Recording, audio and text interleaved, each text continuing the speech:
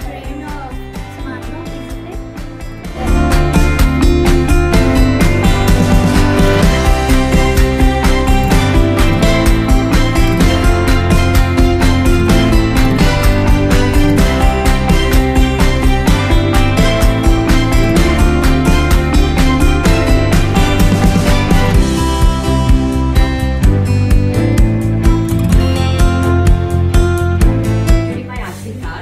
So let's start with our introduction. My name is Ida and I'm from class 7 Hi, my name is Tejas.